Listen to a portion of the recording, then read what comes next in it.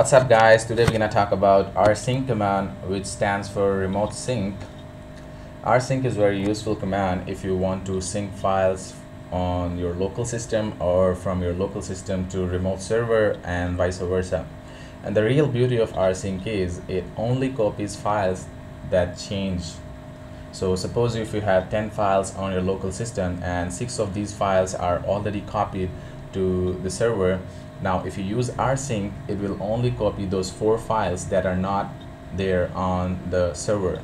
So it won't copy those six files that are already present on the server. So enough talking. Let's see how to use it. So where are we?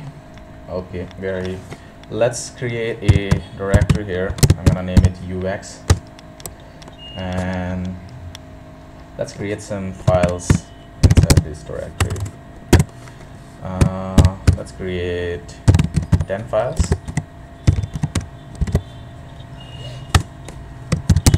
So it have created 10 files and let's connect to the server. And push these files to the server.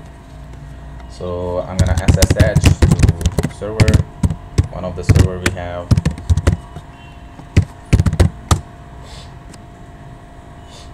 It's gonna ask me the password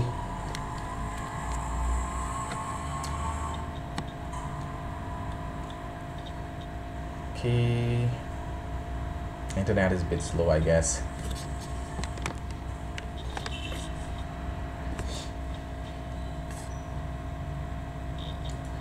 Okay I'm gonna paste the password and we are connected to the server. So let's see where are we?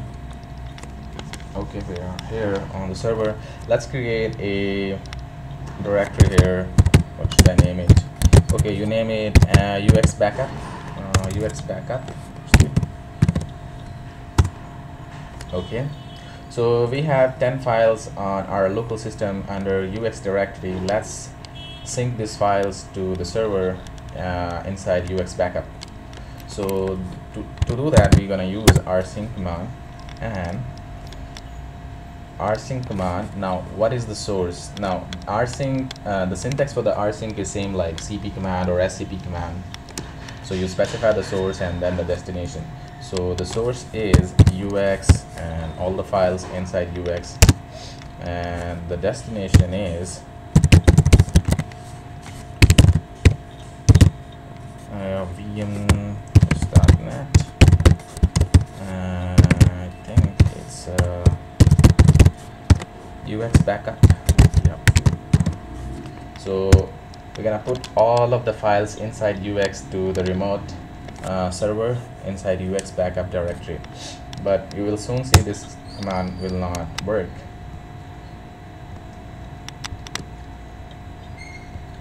This command will not work because to make this work we have to use R or A option. Even though we are not copying any directory we are copying files inside directory but still this doesn't work which is a bit strange so you will see there is nothing uh, see ux backup on the server. You won't see anything. So for this command to work we have to specify r or a option so i'm going to use a which is more preferable. So and i'm also gonna use v option for verbose. It's gonna print the message what rsync is actually doing so it will copy all these 10 files file 1 2 3 4 and till 10 it will copy to the ux backup. It's gonna ask me the password.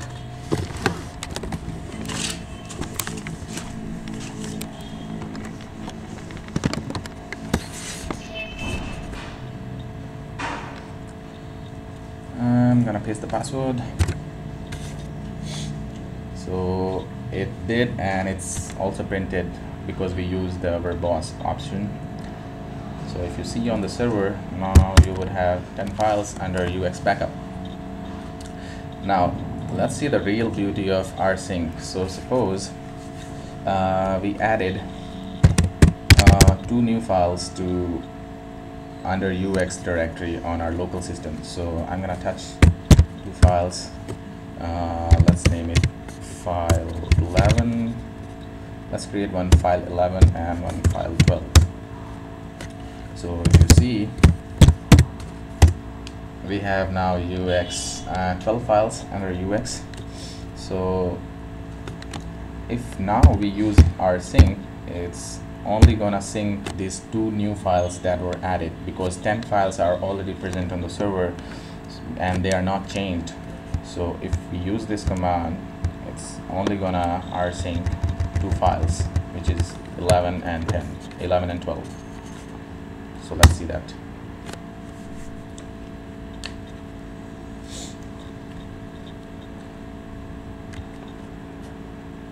It's gonna ask me the password because it uses SSH for authentication.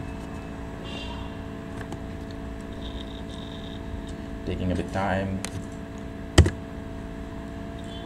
so you can see it only sent file 11 and file 12 and you will see you will have this file 11 and 12 at the server. Okay so that's how rsync works basically. It sends only the files that were changed. Now this is the uh, pretty basic use of rsync. Uh, now what we're gonna do here is suppose you deleted one of the file. So delete one of the file.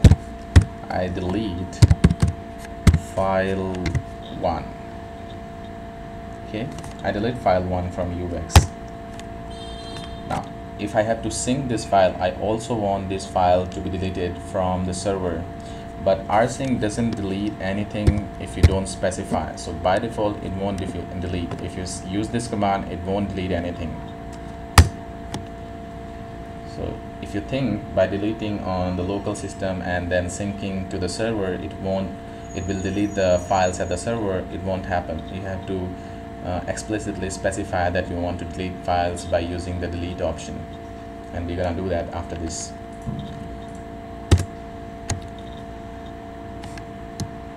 So it won't delete anything. You will see here still file 1 will be present here. So file 1 is still present there on the server so if you want to uh, that to be deleted from the destination also you have to specify the delete option. So let's do that.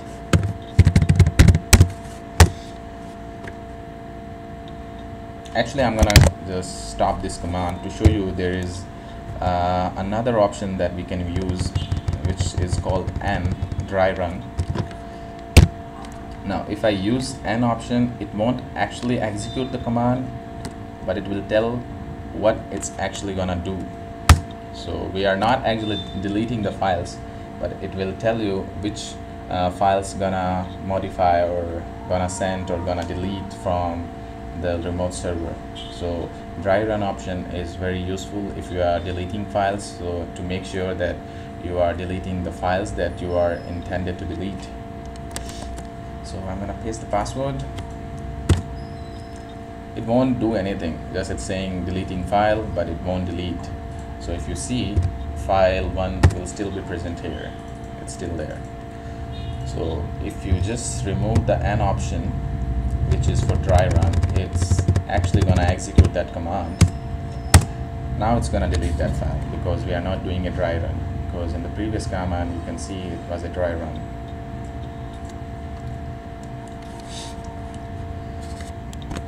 okay again it's gonna ask me the password. Let's paste the password. Deleting file 1 so now this time there is no dry run. It actually deleted the file from the destination which is remote server. So you won't see file 1 anymore here.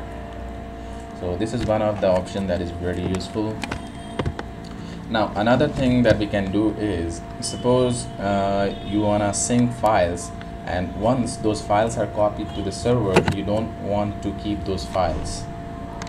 You don't want two copies of that uh, files. So you can do that if you specify remove source files. So if you use remove source files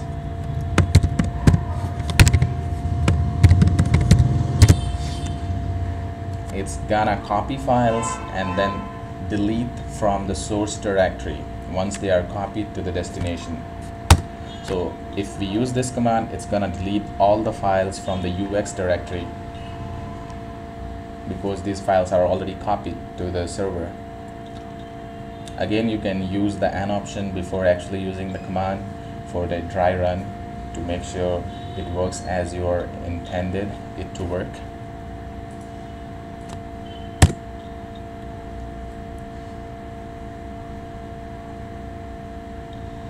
and now if you see what's there in UX there is nothing because all the files that were copied to the server are actually deleted from the source uh, source directory. But they will be present uh, here on the backup directory on the server. So this is how we can sync files from our local system to the remote server and if you want to do the opposite you have to just uh, change uh, the source to the server and the destination to your local system. And again you can use the delete option to delete the files when they are once they are copied to the server. So these files will be deleted from the source once uh, deleted.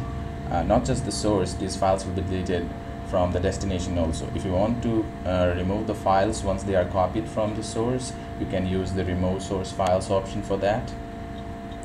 And one more thing to remember that uh, rsync doesn't delete anything by default so you have if you want to delete you have to use the delete option to explicitly specify that.